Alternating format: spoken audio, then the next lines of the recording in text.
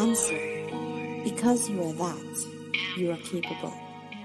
You are gifted and you are so unique. All of the things that you may hate about yourself are your strengths. It's okay to be soft. It's okay to be opinionated. It's okay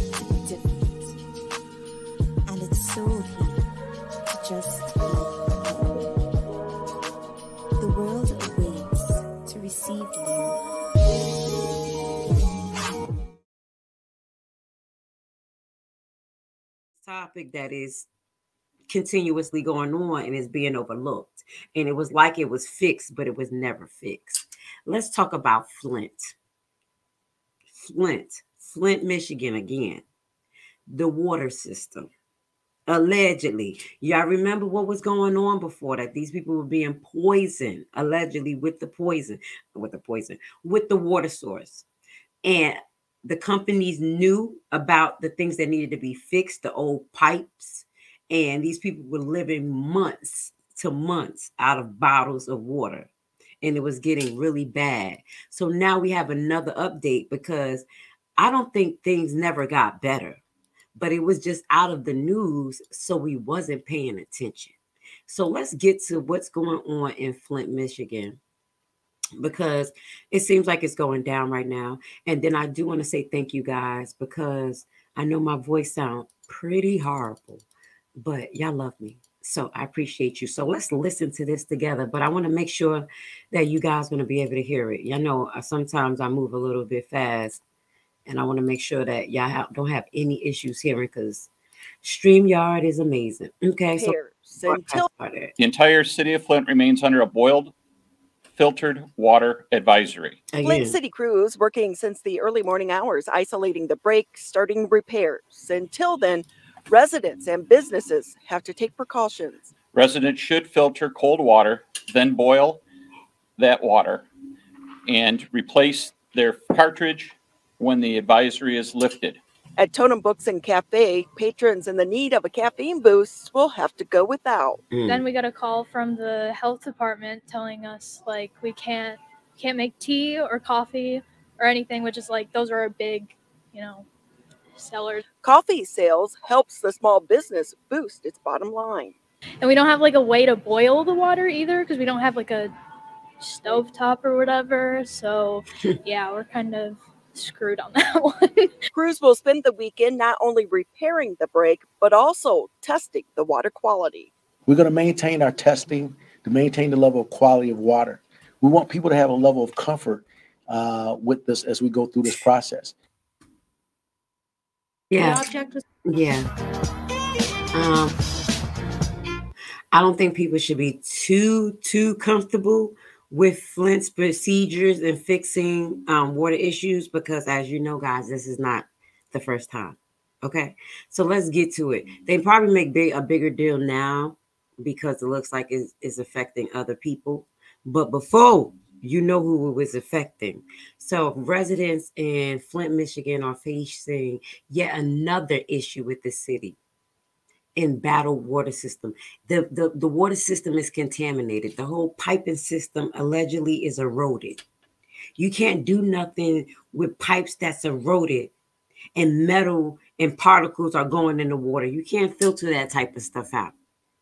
Okay. Flint announced a city-wide boil water advisory after the water main broke Friday morning, causing the pressure of the entire city system to drop below safe levels. Crews have been able to locate the damaged 24 inch transmission line and begin repairing, official says. A public notice said that officials anticipate the repair, flushing, and necessary testing will continue at least through Monday. That's fast, meaning the city over 80,000 residents will be left boiling Flint water or using bottled water through the weekend. The Facebook post from the city Flint describes the boil water advisory precaution. Listen, this is not the first time. Let me let's Google this. Let's Google this real quick. Okay, because I don't play. I know this is not new. Let's get to it. Now, I'm reading this because the History Channel and all of these other places be trying to um, give you copyrights. But I just pulled up an article right now. And this started way before just now. And the way the news will bring it to you is though this is new or is not that bad. But it is it's bad. It's bad. So I just pulled up of the History Channel. They better not even try. I'm just gonna read the article.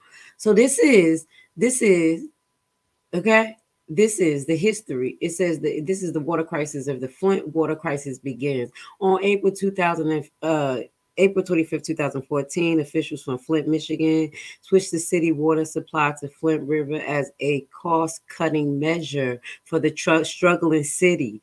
In doing, the, doing so, this unwitty in, int- introduced lead poison water into the home, what I was just saying, and what will become a massive public health crisis. The problem started when officials decided to switch the water supply from the Detroit Water and Sewage Department to the Carrion D Water, excuse my pronunciation, authority to save money for the economically struggling city. Before the connection could be built, the city turned to Flint River as a temporary water source. those things in the river, and I'm not an expert, but there's bacteria and things in the river that do not that's not compatible with metal. When you put metal and things into the river, what happens? It rusts. So there's certain treatments they do to the water for people to drink. Okay. Even coming from third world countries like Haiti, we don't just drink rainwater. We have to boil it and we put a little bleach in it and the water be good, just a little bit. Yeah. We know we can't just drink that water. So why would they use that source? Because of the population, possibly? Right, but I'm just saying allegedly. Authorities to save money for the economically struggling city before the connection could be built. As we said, they connected it to the Flint River water source. Disgusting. By May, residents were complaining that the brown water flowing into their home looked and smelled weird. But the largely majority African American and poor citizen was ignored by officials. This is 2014. We're going almost on 10 years later. When ignored by officials in August, E. coli and coliform bacteria was detected in Flint water. From there, a leaked memo from the Environmental Protection Agency and several independent studies warn of dangerous levels of lead in the water. Although the city switched their water supply back in 2015, the damage to the pipes had already been done.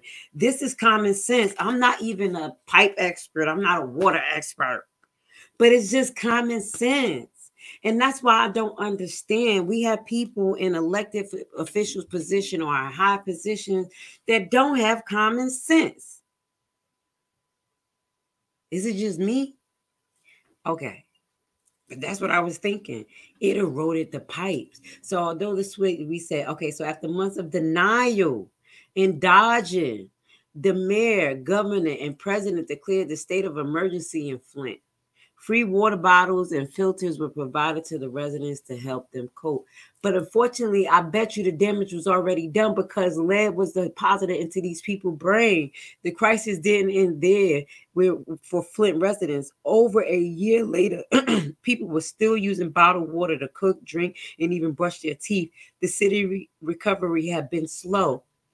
And as it worked to replace three thirty thousand lead pipes 30,000 in 2017. So wow, from 2014, 3 years later. 3 years later of the residents ingesting this poisonous water allegedly. Then they started fixing it. Reports show that the water in most homes had was generally safe. So by 2017, allegedly, it was generally safe.